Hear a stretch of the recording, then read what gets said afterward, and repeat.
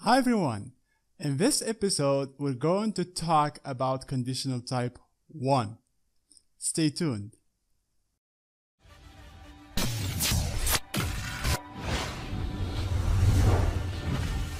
Today's lesson is conditional type 1. Let's study this example. If you don't hurry, you will miss the train. First, this if introduces a conditional sentence. When you find it in a sentence, then that's a conditional sentence. This conditional sentence is composed of two parts. The first part is the if clause, which is a condition. The second part is the main clause, which is the result. Is this result automatic like in the conditional type 0? No, it's not. It's just a possible result. Another important thing about the conditional type 1 is that it speaks about the present and the future. Now, let's have a closer look at the tense of the verbs.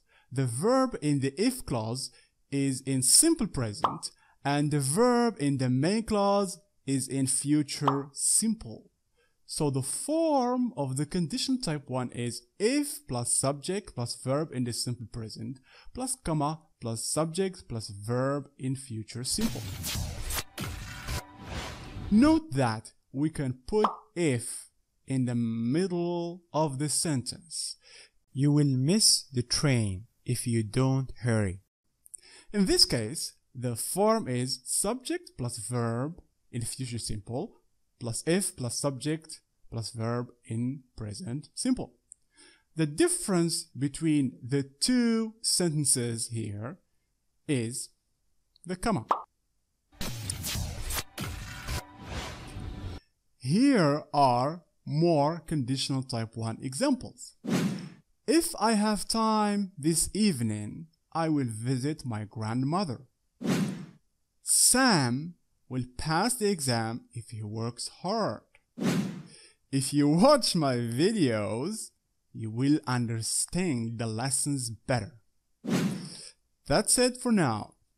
Thank you for watching. See you in another lesson.